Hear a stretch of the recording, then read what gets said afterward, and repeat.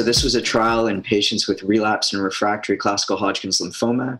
That patients could have either had disease progression after an autologous stem cell transplant, or the alternative was they need to have been ineligible for an autologous transplant and had at least one prior line of chemotherapy. Uh, the pembrolizumab is given at a standard dose, 200 milligrams IV, once every three weeks.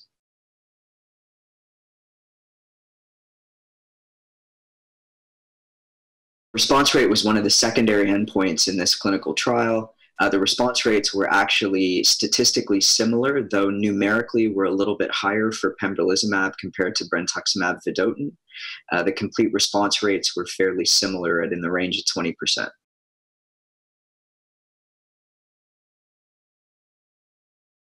One of the great things about the results from this clinical trial was the, the consistency that we saw in all of the results, both the efficacy and uh, side effect toxicity endpoints as well. Uh, looking at the subgroup analyses for progression free survival, these were consistent across all subgroups, uh, particularly with an interest in the patients that had either had autologous stem cell transplants or had been ineligible, as well as for the patients that had either primary refractory disease early relapse from primary treatment or patients with later relapse, all very consistent.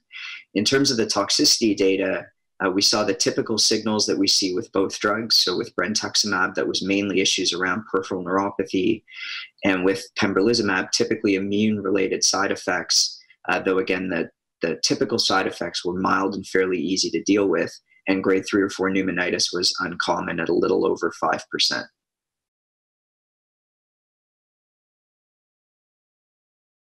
So this is the first of the randomized trials that have looked at comparing a checkpoint inhibitor uh, with uh, an antibody drug conjugate, brentuximab vedotin. Uh, this is the first of the major studies now that have come out looking at checkpoint inhibitors, and you can just see this is really the tip of the iceberg. Uh, both of these agents are very active in Hodgkin's lymphoma. We're now seeing uh, the generation of randomized trials, particularly with drugs in the frontline treatment setting, as well as very interesting combinations in the relapse setting. And there was a combination study of this type of approach as well in patients that have relapsed after autologous transplant. So lots more data to come. This randomized trial was a global study designed to really look at the improvement in progression-free survival for pembrolizumab over brentuximab vedotin. Uh, the study met its primary endpoint. I think the real key to this clinical trial is that we now have a very important new option available as a new standard of care in the treatment of uh, patients with relapsed refractory classical Hodgkin's lymphoma.